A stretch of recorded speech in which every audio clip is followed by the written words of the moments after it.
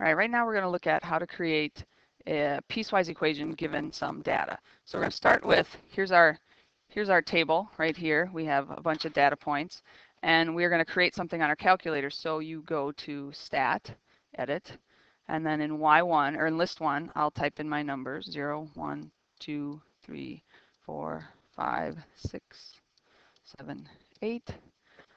Um, in list two, there we go. In list two, I'll put in my Y values. 300, 260, 200, 120.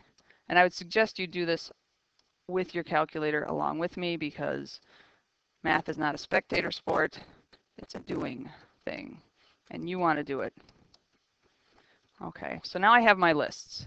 I want to see what that looks like. I can think about my window um, my zero, my oops window, there we go. My X-min doesn't need to be lower than zero, but I usually like to go a little smaller. So I'll go from negative one to nine for my X's. Y's, um, I need to go at least as high as 366. So I will go a little bit negative. Negative 10 seems good to say 370, maybe by 20. That'll give me a better scale. I want to turn my plot on. So you go to your second y equals, plot um, on, and I have my, nope, up here. My data is in list one and list two. So that's fine. Um, and then there, right here, you can see my data points. That looks good.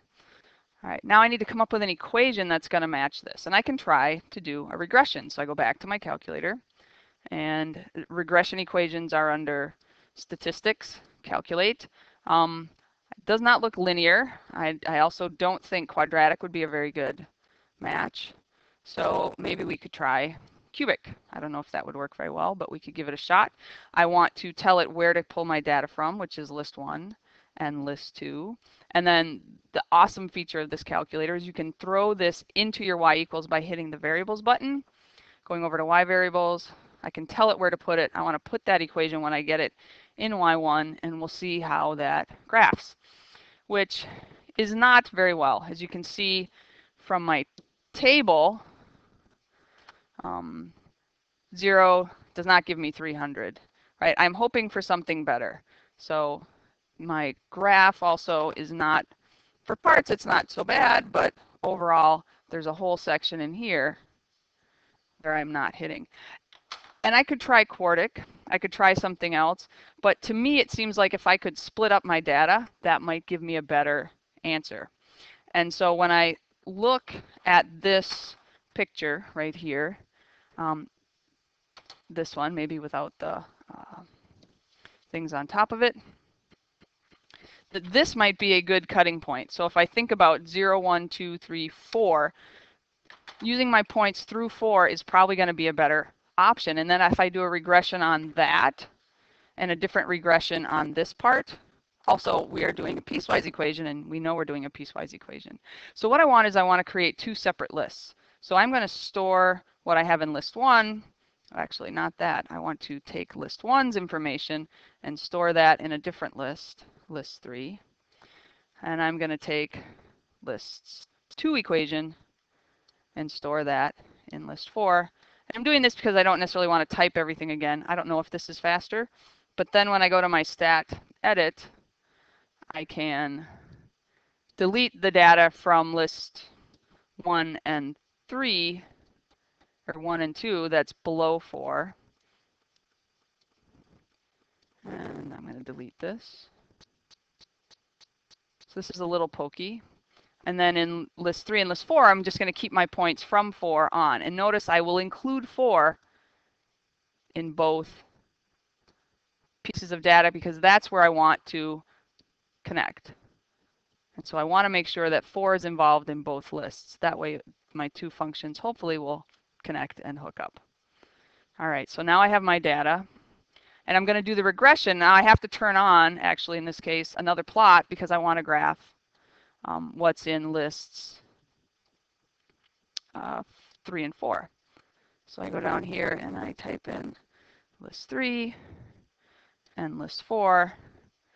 And now, again, I now I have all my points back. I still have this equation, which doesn't match very well. So let's go up there and delete that equation. All right, so now I'm back here. I want to try an equation. I want to do a regression equation. Let's clear this on my first four points. So now I can go back to stat, calc, and if I try, maybe this is quadratic. I, I don't think that first part is linear. Um, I want to do list one, list two, and I want to throw that into y1. Let's hit enter. How well did that match? Ho, ho, ho. That matches perfectly. Let's clear some of these other things off. I have 300, 260, 200, 120, 20. Isn't that convenient how it just magically matched those points exactly? Um, excellent. So now i I feel like I have a good equation for my first four points. Now what about four through eight? Well, I could try quadratic again. It's also curving in a different way. So let's try that. I'm going to actually just call this up. Well, I don't want to put it in Y1. So I want to now do the regression on list 3 and list 4. Whoa. I need to delete that, comma. And I want to put that not in Y1 because I want to keep my Y1 where it is. So I want to put that in Y2. And let's try that. And I'm going to see how do my points 4 through 8 match. Not horribly, but let's see if I can do something a little bit better. I would like that to be a little bit better. Let's try a third degree. So I'm going to quit this, close this link, ink layer. Let's quit. And let's try, in this case, let's try a cubic, which would be 6. Cubic regression. I want list 3, list 4. I want to put that one now in Y2. Or I could put it in Y3 in case Y2 ended up to be better. Let's just put it in Y2. I am confident that this will be um, a better place. Let's try it. Hit enter. And how do those match up? Hmm. 19.8, 39.8. Not bad. I don't know if I can do any better. Let's try Quartic. Um, no, let's try stat. Calc. 7. I'm hoping I'll hit the jackpot and one of these might actually give me perfect numbers. Now in your project, you probably won't get perfect numbers, but it's possible. You want to get, remember, to the nearest millimeter. That's what we are shooting for. Y variables um, function. I am going to put this one in Y3, and I'm going to see what I get, because maybe it's not better. Now, if I go to my table, and I go over to Y3, are my points. That, I think, is what I wanted. Now, for our quiz that we will have on this, I will have an equation that you need to match perfectly. So you will have to find that. The quadratic was not perfect.